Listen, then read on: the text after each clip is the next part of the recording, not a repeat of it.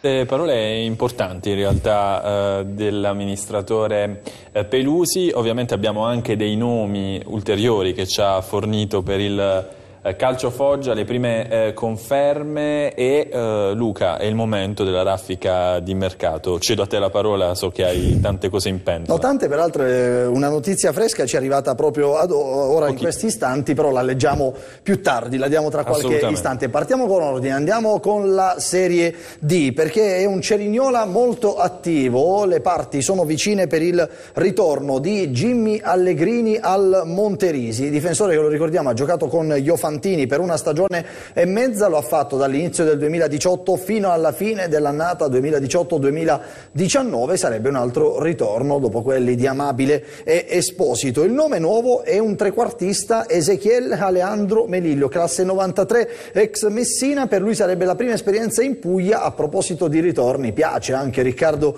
Lattanzio, sondato anche da Casarano e Taranto, non è da escludere però una conferma dell'attaccante andriese a Bitonto. La Fidelisandria prova a stringere per Mirko Guadalupi, trequartista che nell'ultima annata è stata la team Altamura e ha messo a segno nove reti. Abbiamo detto delle conferme del Foggia su tutti, Gentile, Anelli e Gerbaudo. In casa team Altamura si attende l'ufficialità per Lanzolla e anche la conferma di Croce, ma ci sono pochi dubbi in merito. In casa Gravina c'è una novità, restiamo sulla Murgia perché dopo Catinali, che di fatto è stato un innesto d'esperienza, c'è un rinforzo, classe 90 97 risponde al nome di Francesco Pio De Feo, mezzala 23enne originaria di Pagani, nelle ultime quattro stagioni sempre Serie D. Per lui, nell'ultimo anno diviso tra Vasto Girardi e Cannara. Scendiamo al campionato di eccellenza, la novità di giornata, una delle novità di giornata arriva da Corato, c'è un ritorno, è quello di Daniel Mattias Coteio che vestirà la maglia nero-verde per la stagione 2020-2021, esterno offensivo di centrocampo argentino di Buenos Aires classe 1900 1987. In Italia la sua carriera ha avuto il via nel 2014 nel Real Metapontino, eccellenza lucana,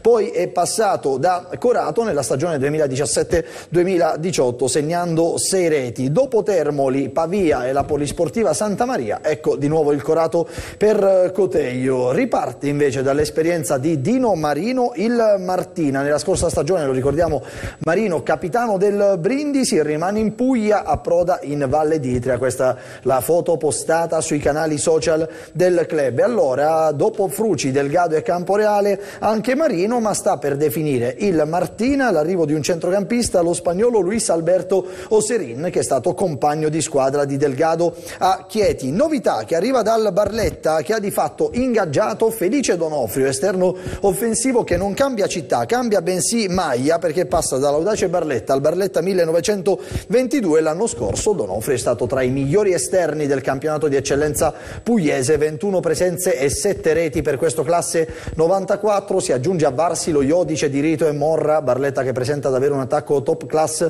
per la categoria, Barletta che opererà almeno altri tre interventi Scusate, sul parco senior, due difensori e un centrocampista da non escludere la conferma di Gaetano Zingrillo. Spostiamoci in casa Audace Barletta, fatta per Cilli e Savot in porta, sondaggi in attacco per Ciriolo della Fortis Altamura e Dintrono dell'Ortanova. Le idee per il centrocampo sono Cannito della Fortis Altamura e Cordisco dell'Unione Calcio Bisceglie che piace anche al Manfredonia ma potrebbe anche restare nella città dei Dolmen. Protagonista di giornata anche il Massafra che ha battuto 5 cinque colpi, ben tre in porta. Il primo tra i pali è il Tarantino Doc Pierluca Pizzaleo, classe 97, esperienza in passato a Taranto, ultime tre stagioni in Serie D. Arriva anche un baby, Zigrino, Flavio Zigrino, portiere classe 2002, scuola Diavoli Rossi, reduce da una stagione in promozione con il Castellaneta, classe 2001 invece è Alessandro Gallitelli che arriva dalla primavera, dalla Berretti scusate, del Monopoli. L'anno scorso per lui esperienze a Martina e Corato in eccellenza. In difesa ha firmato Gio Pedro Pellisson l'anno scorso allo Sporting Vallone in eccellenza siciliana ufficiale. Anche l'arrivo di Vito Dentamaro, centrocampista di provata esperienza, ha giocato con Bitonto, Rieti, Nuoro, Melfi, anche Castrovilla, Barletta, Molfetta e Fortis Altamura. Inoltre il Massafra sta concludendo altri arrivi, quelli del difensore classe 95 Michele Bitetti, del centrocampista classe 86 Leonardo Panzarea e di Antonio Di Matera, già concluso, classe 86. Conclusa anche per Francesco Ranieri, 5 gol in 10 presenze con la Torrese, eccellenza abruzzese nell'ultima stagione. Infine un'ufficialità dal mercato di eh, Serie C perché il Monopoli ha comprato Simone Sales, di fatto il contratto sarà depositato il primo di settembre, ma l'ex difensore del Potenza è una realtà, difensore pugliese classe 1988, nell'ultima stagione 24 presenze con il Potenza, il Bari invece lavora per confermare Vincenzo